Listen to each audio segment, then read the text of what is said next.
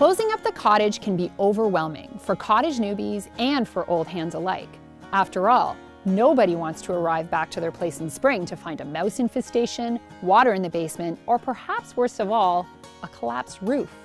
But don't get scared, get planning. Follow these five tips for closing up the cottage to give yourself a worry-free winter. First up, your plumbing and water supply.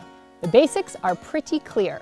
Drain your tanks and lines, put antifreeze in your traps, and open up all of your taps. But here are the don't forgets. Make sure that you drain the water from flexible lines in your shower and in your sink if you have them.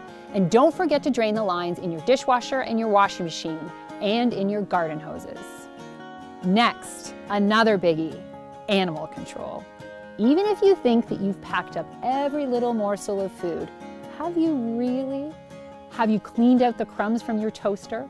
Have you cleaned the grease catcher on your barbecue? How about your grill? If there's any little bit of food anywhere, I guarantee you that the mice, or worse, will find it. When it comes to shutting off your electricity and heat, resist the urge to just throw the main switch in the breaker panel to shut off the power. That's risky it can cause problems when you reopen in the spring by introducing a huge load to the electrical panel all at once when you flip that breaker back on.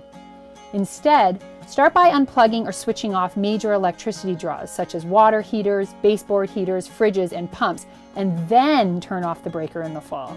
That way, the load is introduced gradually as you switch everything back on in the spring. Don't forget your tools and equipment! Before you leave the cottage at the end of the season, spray down your tools with WD-40 and then wrap them in an old towel to keep them rust-free all winter. Add fuel stabilizer to your gas, then top off all fuel tanks so that they are full to avoid condensation forming inside. The last thing is your roof. Preparing your cottage roof for winter is one of the most important things that you'll do at closing up. Although it's not always necessary, installing support posts will help you avoid a lot of winter worry from afar. You can buy telescoping support posts, or you can make your own out of 4x4s.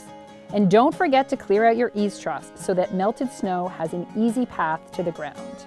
My last thing is less a tip than a suggestion. Don't stress, you've got this. With a little planning, your cottage will handle winter just fine.